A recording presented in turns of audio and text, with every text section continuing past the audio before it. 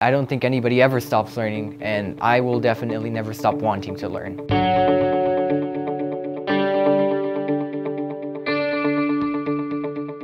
When, when I was 10 or 11, the, my third grade teacher, she sent a letter home to my mom because I was, I was being bad in class. I was telling too many jokes, being the class clown, because I would be distracted by the material, which my mom had taught me before. And once, once she got this letter, she got super mad and had a conference with, with my teacher. At that conference, my, my teacher told her that uh, I needed something else after school to, to distract me so that, so that I could focus at, um, in school and on that other thing and not distract the other kids.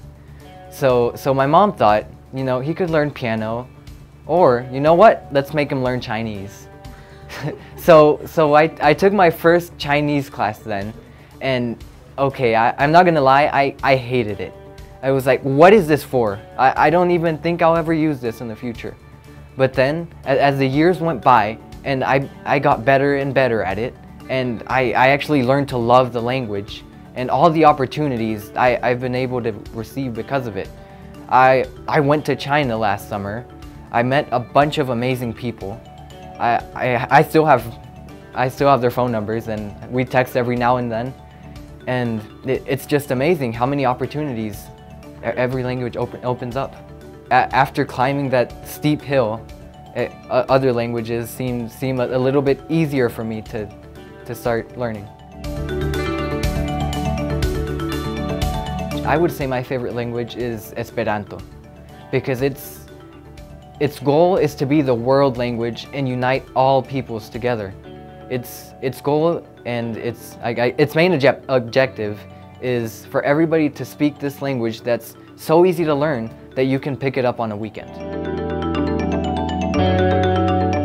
I've helped people in all the languages that I can help them in. I've helped people from Spanish, from, from Mexico and Spain. I've helped people from Brazil, from China, from Italy, and I, I even helped someone from Russia, even though not, not with Italian.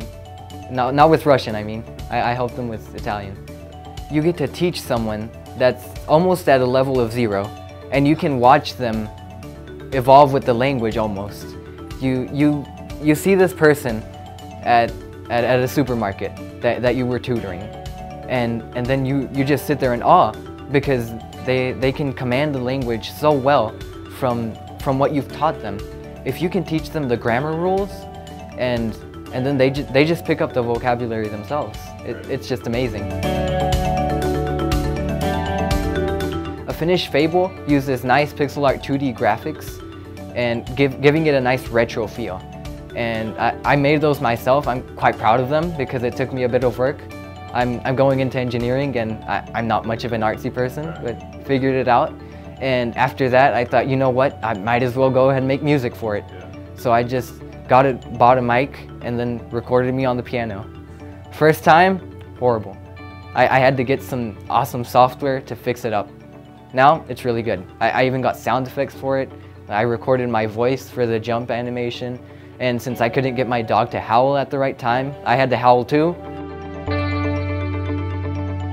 The key really is time management. You, you don't just split everything out in your day, you have to plan out every week.